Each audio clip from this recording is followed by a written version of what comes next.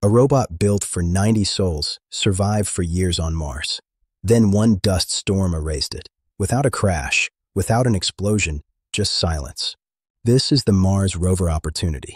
And the internet keeps repeating its last words. But that quote isn't a real transmission. So what was Opportunity's actual last message? Not a sentence. Data. And NASA published what it looked like.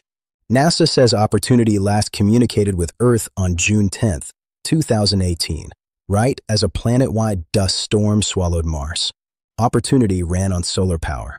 So when the sky filled with dust, less sunlight reached its panels, and power became the real enemy.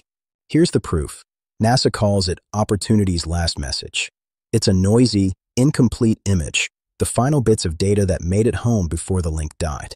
So that viral line, my battery is low and it's getting dark, was never literally sent from Mars. It's a human interpretation turned into a quote. NASA kept trying to reach opportunity. But after months of silence, NASA officially ended the mission in February 2019. That's the scary part about Mars. A rover can be intact and still be mission over because weather can cut the power line between you and the robot.